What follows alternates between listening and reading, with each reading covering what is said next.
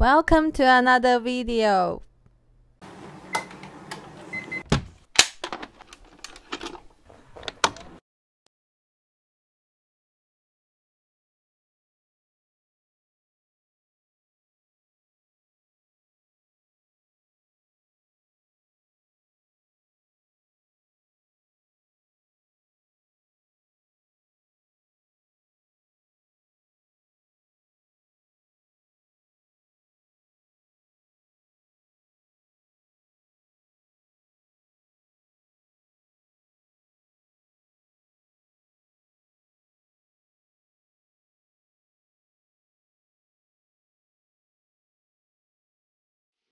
Oh boy, it is cold and it is windy, and I have no idea how cold it is, but I suspect it's somewhere around minus three or minus four degrees uh, Celsius.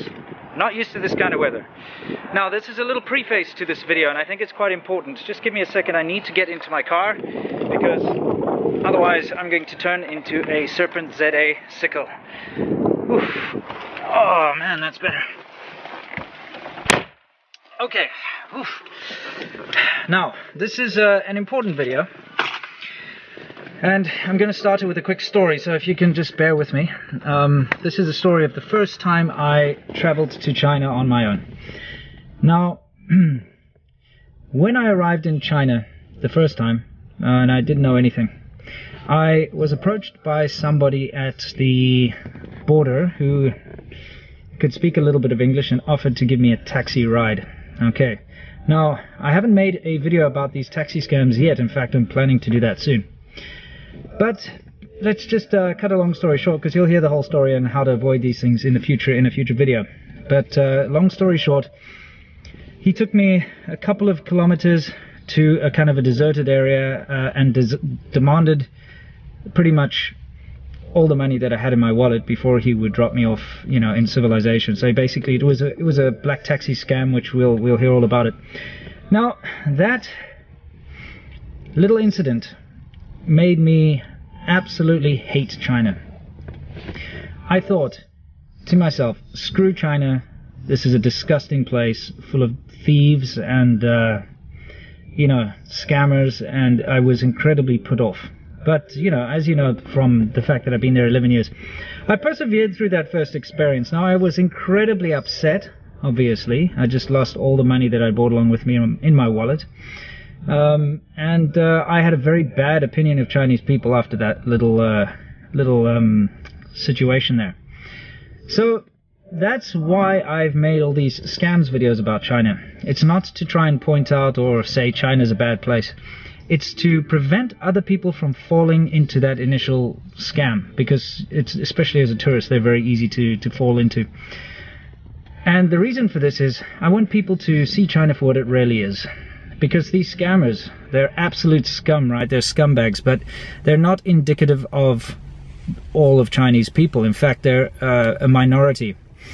Um, yes, there is a bit of a neng pian jiu pian kind of, which means if you can cheat then cheat culture going on in China. But the majority of the people that I've met are incredibly friendly and hospitable and lovely, lovely people. And uh, that's why I make the scam videos. Is not to say, look how bad China is because of all of its scams. It's to say, avoid these people. Don't fall for these these terrible scams, and you will have an amazing time. You will fall in love with China, just like I did. So, that's the preface to this video. Um, I am now going to switch over to what I recorded last night. I was working with my an old friend of mine who also lived in China forever, um, and we were working together, fixing up the car. Did a lot of work on it, and uh, decided that I'd just quickly put together a video to explain that being different doesn't mean you're better or worse. So I'm going to go directly to that. Thank you for sticking through this little preface, and I'll catch you guys in the main video. Well, hey there, guys, and welcome to Maryland, somewhere in uh, Maryland. I think is is Maryland the uh, is is Maryland the actual what do you what you call it the state? Yes. Okay, so we're in Maryland, and we're in a place called Centreville or something like that, close to Centreville. And uh, this video is all about difference. And uh, bear with me on this because this is going to be a little difficult to explain, but this is going to explain a lot.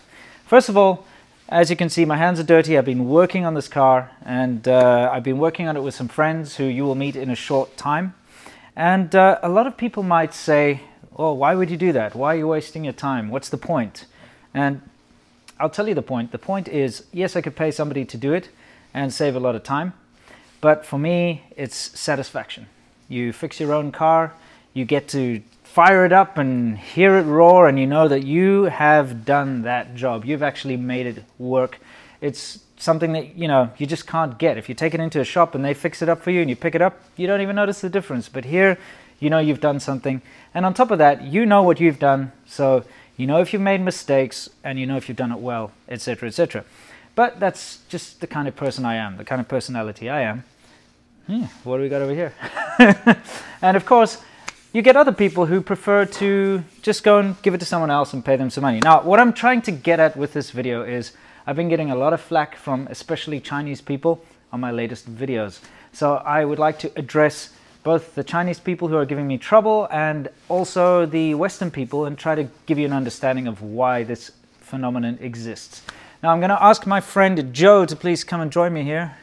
Um, this is Joe. I've known him for many years. And how long were you in China for? Six years. Six years. Okay, so I'm I'm almost 11 now. He was six, but he's married to a Chinese woman, a very mm-hmm. beautiful girl. They're expecting a child soon. Yep, two months. Really awesome. And uh, basically, he knows what I'm talking about. So, what I'm trying to tell everyone here is, whenever you point out differences between say America and China. Now, I mean differences as in, you know, I did that jack of all trades, yeah. China has none video, and I said, hey, you get lots of people who know how to do many things, but in China things are very specialized. What kind of um, reaction can you expect to get from Chinese people? Criticism. Yeah. Okay. Criticism and just they think you're attacking them. Absolutely. Mm-hmm. Their criticism of your criticism, and they think you're attacking them. They think you're out to say something bad. Yeah. Even when you're not. Totally. I yeah. mean, is is it not a case of hey, here's an apple, here's an orange. An apple tastes sweeter than an orange, and then they'll say, "Well, you know, screw you. How can you? How dare you say you're that an apple apples is are better?" Yeah, exactly. Yeah. Whereas you're not. You're, yeah. you're, just pointing out differences. So this is a kind of a cultural phenomenon, and it's something that uh, it's not just me who experiences. And okay, I, I want you to be completely frank with me. That you've mm-hmm. you've seen the videos I've been making mm-hmm. while I'm in America. Am I in any way trying to say that America is better no. than China? No, or China is better than America? You're very polite in your assessment of the difference between Chinese and American.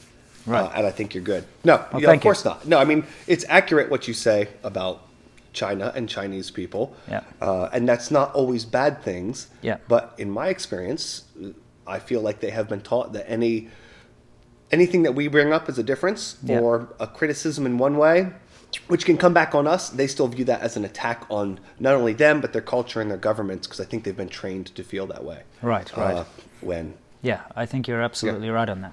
So basically, what I'm trying to say here is uh, to all the Chinese people who are leaving these absolutely awful, racist, disgusting comments down below, all you're doing is making yourself look bad. What you're doing is any Western person who watches my videos is looking at the comments and saying, wow, Chinese people are horrible. They're rude, they're disgusting, they're insulting, you know, they're these terrible, terrible people.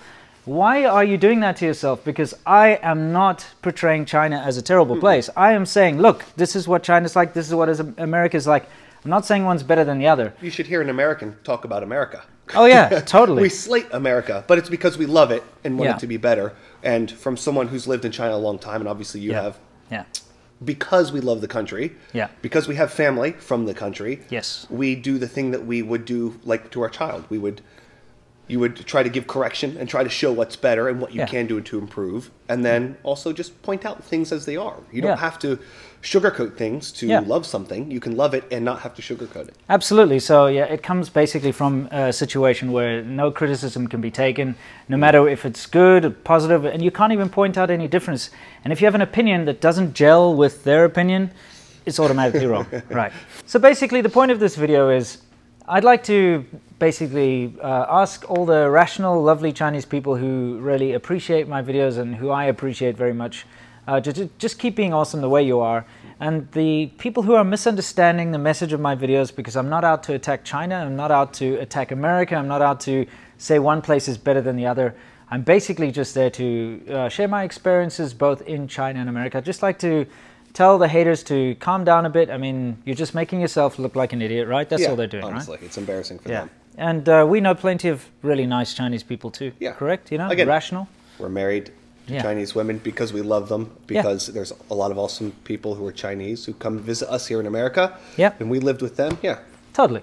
Now, uh, before we wrap this video up, I have to say a massive thank you, first of all, to Joe and your wife. Uh, you know, they've let me stay at their house, and it's been awesome. He lives in a very beautiful farm; it's amazing.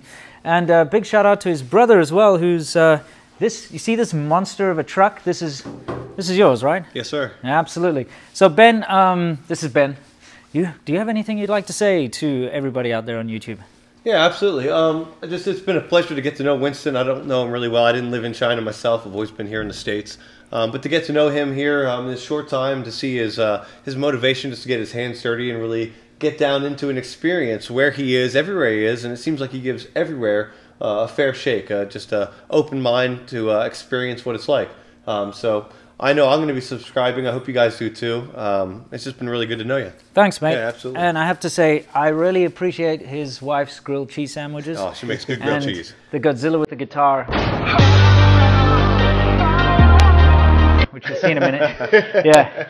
Joe, anything you'd like to say to everyone before we sign off? Yeah, definitely. I am uh, not going to subscribe to your videos, Yeah, uh, yeah. but I know you personally, so I don't So, need to. yeah, unnecessary. Uh, but yeah, it's been a pleasure having Yeah. here. Of course, keep up the videos and the information about China. Thank you. Uh, because I know being someone who's lived there, it's a good point of view. It's fairly well rounded, and it's uh, it gives you a real taste of what it's like. Thank you so much. I say, super appreciate it. Once again, course, guys, thank you. And all of you out there, you know the drill. Come on, let's say it together. Stay awesome.